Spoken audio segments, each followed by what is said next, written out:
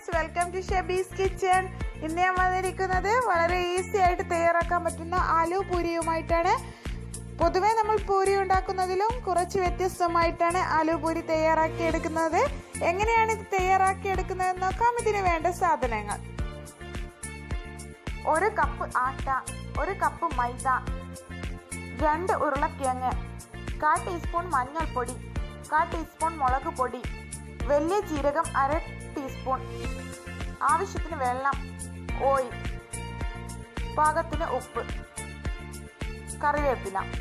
ഇനി നമുക്ക് തയ്യാറാക്കുന്നത് എങ്ങനെയാണെന്ന് നോക്കാം. അതിനു വേണ്ടി ഞാനിവിടെ ഒരു ബോളിലേക്ക് ആട്ടപ്പൊടി എടുത്ത് വെച്ചിട്ടുണ്ട്. സെയിം അളവിൽ മൈദപ്പൊടിയും എടുത്തിട്ടുണ്ട്. ഇത് രണ്ടും ഇതിലേക്ക് ഇട്ട ശേഷം ഇത് ഞാൻ വേവിച്ച് വെച്ച ഉരുളക്കിഴങ്ങാണ്. ഇത് നമുക്ക് ഒരു മിക്സിയുടെ ജാർ ഉപയോഗിച്ച് ഒന്ന് നന്നായിട്ട് പൊടിച്ചെടുക്കാം. ജാർ ഉപയോഗിച്ച് പൊടിച്ചെടുക്കുമ്പോൾ എല്ലാം നന്നായിട്ട് ഉടഞ്ഞു വരും. നിങ്ങൾക്ക് കൈ ഉപയോഗിച്ചും പൊടിച്ചെടുക്കാവുന്നതാണ്.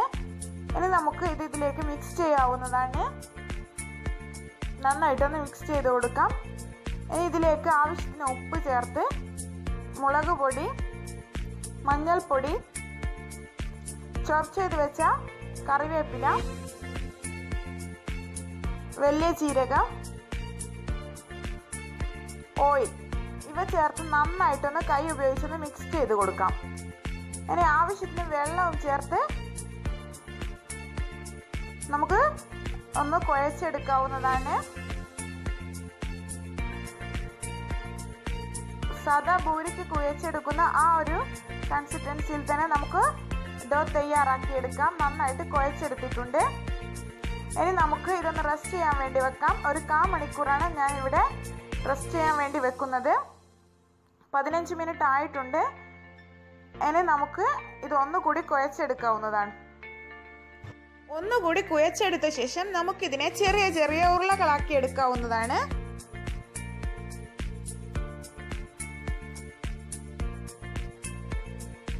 ഇതുപോലെ വേണം എല്ലാ ഉരുളകളും തയ്യാറാക്കി എടുക്കാൻ. എന്റെ ഉരുളകളൊക്കെ തയ്യാറായി വന്നിട്ടുണ്ട്. ഇനി നമുക്ക് ഒന്ന് പരത്തിയെടുക്കാം. അതിനു വേണ്ടി ഞാനിവിടെ ഇതിന്റെ മുകളിലായിട്ട് കുറച്ച് എണ്ണ തടവി കൊടുക്കുന്നുണ്ട്. ഒട്ടി പിടിക്കാതിരിക്കാൻ വേണ്ടിയിട്ടാണ് എണ്ണ തടവുന്നത്. ഇനി നമുക്ക് ഇത് ഇതിനെ ഒന്ന് പരത്തിയെടുക്കാം. സാധാ ഭൂരി പരത്തിയെടുക്കുമ്പോൾ തന്നെ നമുക്കിതൊന്ന് പരത്തിയെടുക്കാം. എല്ലാ ഭൂരികളും ഇതുപോലെ നമുക്ക് പരത്തിയെടുക്കാവുന്നതാണ്. ഈ ഒരു അളവിൽ വേണം പൂരികളൊക്കെ പരത്തിയെടുക്കാൻ. ഇനി നമുക്ക് ഇവിടെ ഓയിൽ ഒഴിച്ച് നന്നായിട്ട് ചൂടാകാൻ വേണ്ടി വെച്ചിരിക്കുകയാണ്.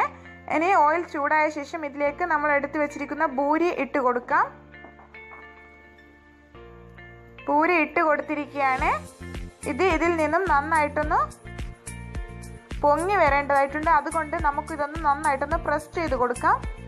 നമ്മുടെ പൂരി നന്നായിട്ട് പൊങ്ങി വന്നിട്ടുണ്ട്. എല്ലാ സൈഡും നന്നായിട്ട് പൊങ്ങി വന്നിട്ടുണ്ട്. ഇനി നമുക്കിതൊന്ന് മറിച്ചിട്ട് കൊടുക്കാം. രണ്ട് സൈഡും നന്നായിട്ടൊന്ന് വേവിച്ചെടുക്കാം. ഇതുപോലെ നമുക്ക് എല്ലാ പൂരികളും തയ്യാറാക്കി എടുക്കാവുന്നതാണ്.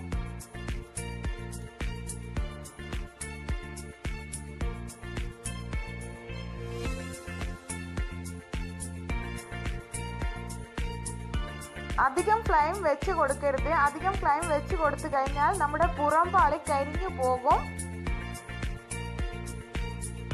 നന്നായിട്ട് ഉള്ളൊന്നും വേഗത്തുമില്ല എന്റെ ഈ ഭൂരി കൂടി തയ്യാറായി കഴിഞ്ഞാൽ എന്റെ ഭൂരികളൊക്കെ തയ്യാറായി കഴിഞ്ഞു.